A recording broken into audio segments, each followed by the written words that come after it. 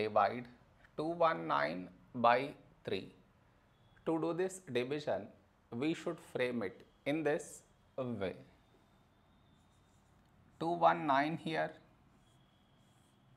3 here.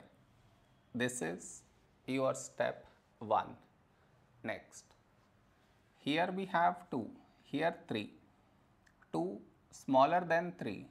So we should take two numbers 21. When do we get 21?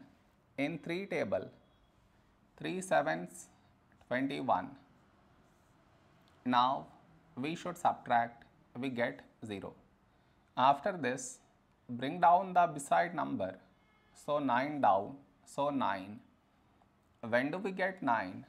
In 3 table. 3 3s 9. Now we subtract, we get 0.